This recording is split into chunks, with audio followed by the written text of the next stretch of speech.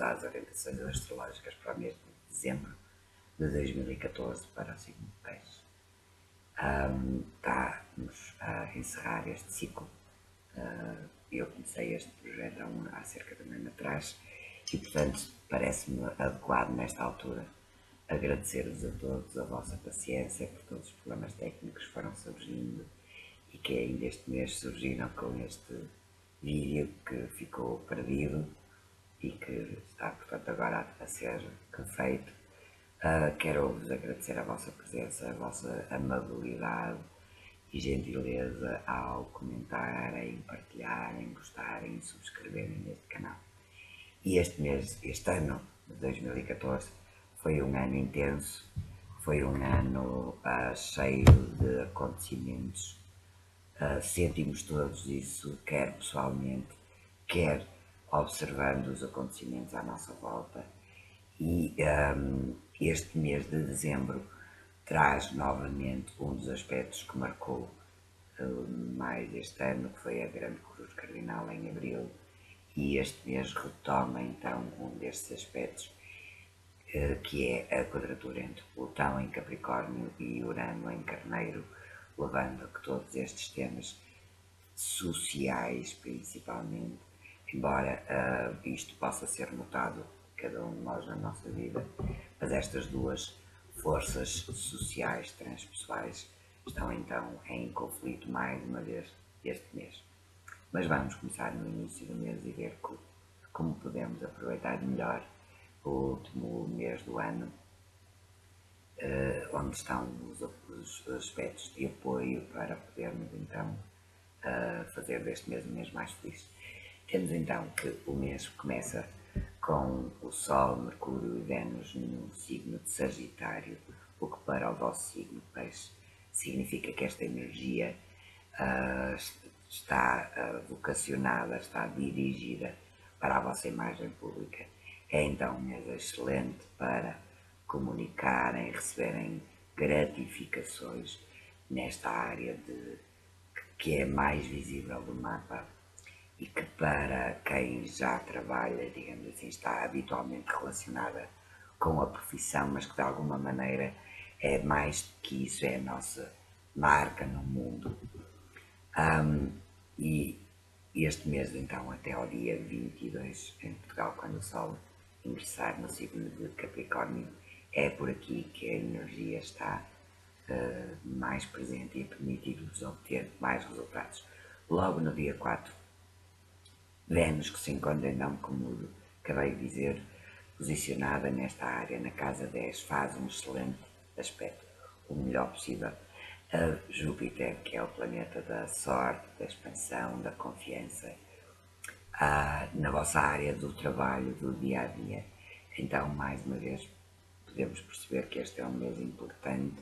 para uh, estes aspectos de trabalho, de carreira, de eficiência, de produtividade. Logo no dia 5 temos uma, uma primeira mudança de signo do mês e desta vez é Marte, o regente de Carneiro, o regente da ação, que transita para o signo de Aquário,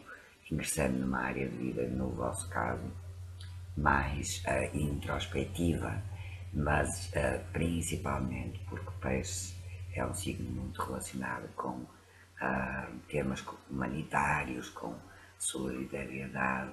Esta é, é então uma altura em que este tipo de ação, de colocarem as vossas ações Marte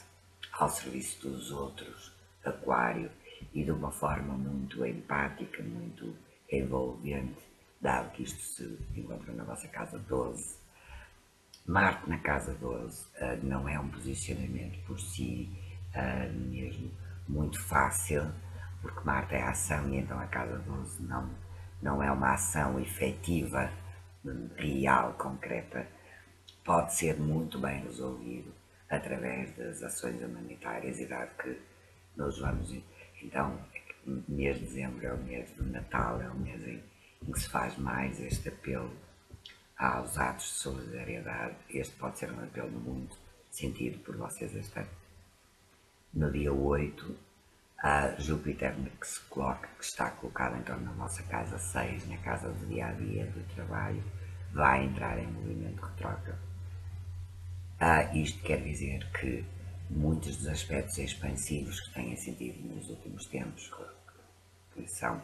trazidos por, ou são da responsabilidade deste Júpiter em Leão, na vossa casa do trabalho, uh, vão necessitar, vão propor, vão surgir propostas para que possam retificar,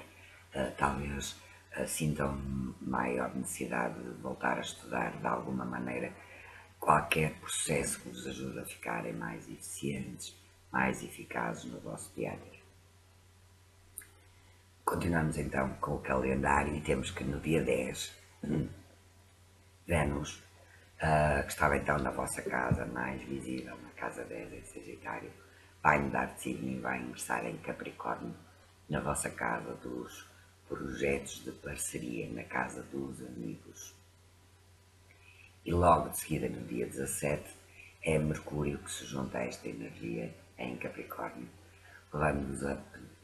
a sentir uma maior necessidade de conseguirem que os vossos projetos de parceria, os vossos processos, processos e projetos em conjunto com os outros precisem de ganhar agora uma consistência maior, uh, fundamentos. Muitas vezes temos sonhos, gostaríamos de, de nos envolvermos numa determinada ação em, em, no coletivo, pertencer a algum tipo de associação, uh, fazer a, uh, parte de algum projeto relacionado com justiça social, por exemplo. Nesta altura, com estes dois planetas em Capricórnio, sendo que depois é o Sol que se junta a, a, a Mercúrio e a Vênus,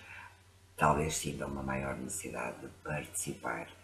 com, de dar o vosso, o vosso contributo para, um, para algo que possa beneficiar o coletivo ainda referente a Vênus em Capricórnio, ela no dia 21 vai chegar próximo de Plutão. Então esta proposta de Vênus em Capricórnio vai ficar mais forte, sendo que, como sabem, Plutão está em Capricórnio já há muito tempo e vai continuar a estar uh, nestes processos em que os planetas lentos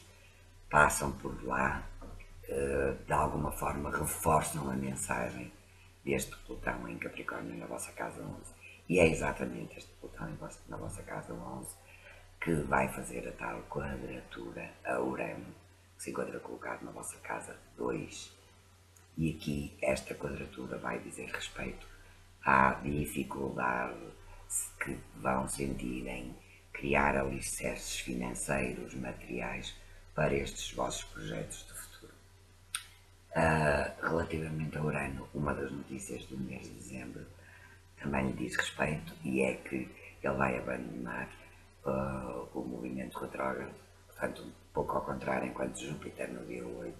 entra em movimento retrógrado, ou seja, a energia vai voltar a refazer algumas das propostas feitas. Agora, Urano direto vai facilitar, vai permitir que, caso tenham uh, conseguir o propósito de aprender alguma coisa relativamente a, a esta instabilidade que têm sofrido uh, relativamente aos valores materiais, então agora o Urano direto vai tornar tudo isto mais fácil. Ainda no dia 21, mas para o horário de Brasília, às 23h36, temos a Lua Nova no, do mês de dezembro, que ocorre no grau zero de Capricórnio. E uh, esta lua nova uh, para Portugal continental vai acontecer só no dia 22 à 1h36. Curiosamente, então, temos, como sabem, a lua nova é o encontro entre o Sol e a Lua no mesmo signo, e mais uma vez este ano, pela terceira vez consecutiva, ela ocorre no grau zero isto, de alguma maneira, parece-me que reforça a tónica da Lua Nova, que é esta questão de a primeira vez, primeiro impulso. E no vosso caso, ela vai ocorrer então na vossa casa 11, que é a casa, como já disse atrás, a casa que está normalmente associada à nossa ligação com o grupo. Portanto, inclui as nossas amizades, a nossa relação com um tema quase inevitável hoje em dia, que é este da informática, das redes sociais, é a casa dos nossos sonhos de futuro. Portanto, é uma excelente lua nova para aproveitar, não deixem de fazer. No dia 24, mesmo a tempo de Natal, dá-se o último acontecimento marcante de, deste mês de dezembro e é a mudança de signo do planeta uh, Saturno. Saturno esteve, faz ciclos habitualmente antes dois anos e meio em cada signo e agora, sendo que ele depois em, em 2015 ainda lá voltará, vai deixar escorpião na vossa casa nova, onde vos tem estado a pedir um trabalho de saturnino, portanto, de estruturação, de credibilidade, de viabilidade para os vossos valores de vida e vai ingressar na vossa casa 10. Se relembrarem o início da conversa de hoje, a casa 10 tem a ver então com o nosso, a nossa marca no mundo e com Saturno lá.